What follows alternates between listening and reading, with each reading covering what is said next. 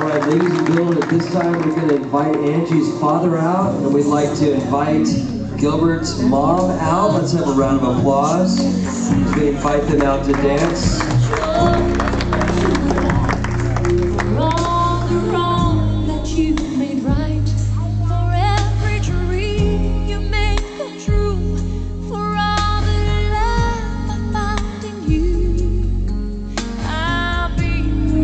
ladies and gentlemen. Let's hear it.